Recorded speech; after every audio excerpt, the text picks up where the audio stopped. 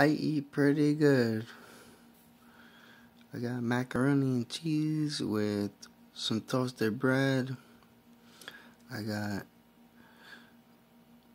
chicken cutlets and I got corn and green beans. Corn on the cob, which is the best. I'm just trying to eat. Like, I love to eat. Hope you guys enjoyed this video. I don't make it more than a minute long. Look at that. Macaroni and cheese, bread, pork chops, green beans.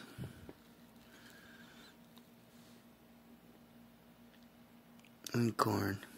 Should be nice meal. Thank y'all for watching. Like, comment, and subscribe. Have a great day. Thanks to see you all. Peace.